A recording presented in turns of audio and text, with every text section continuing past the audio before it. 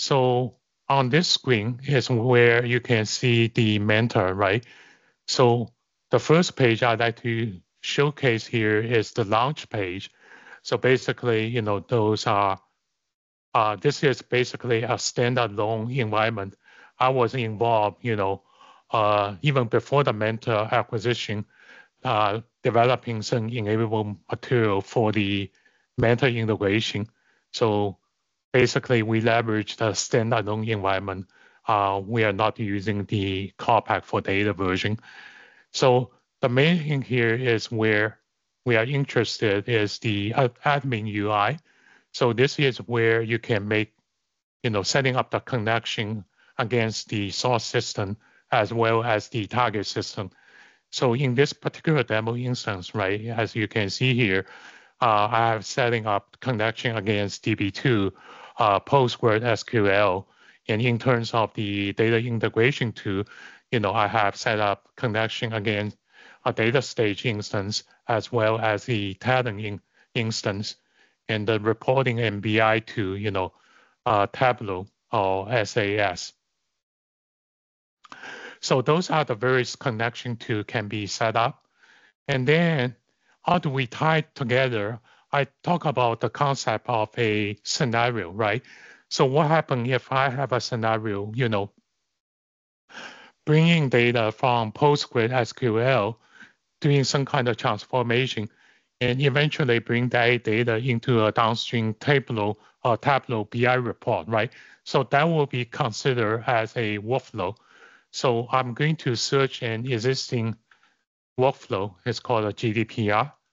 So as you can see here, whenever I specify a workflow, right, there will be a workflow designer associated with that.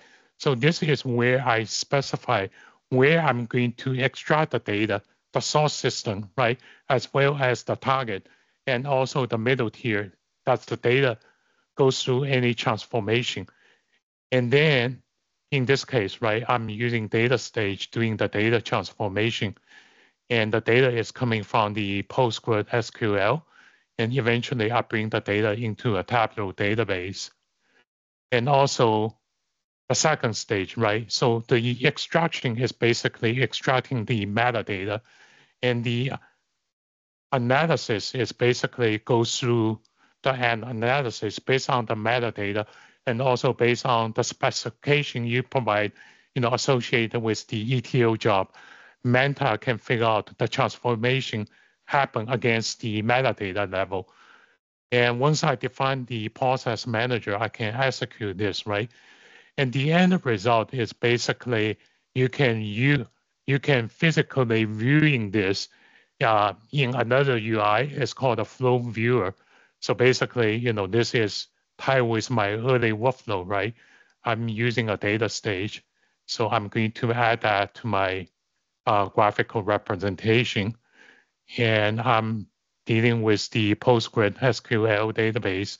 And I'm only interested in the table set under the GDPR uh, schema name. And then for the Tableau, so that's the downstream BI report system I'm using. And here are a lot of different parameters can be set up. So I'm only interested in showing, seeing the lineage information. So here, I'm just going to kick in this and showcase the lineage information. So as you can see here, you know, this is basically the lineage information. What happens if I'm, you know, highlighting a particular column from a Tableau BI report, right? So you can see where the data is coming from. The blue represent the upstream system, and the red is basically representing the downstream system. And also you can zoom in and see what kind of transformation had happened at the column level. And that is really a very quick demonstration on the how does Manta works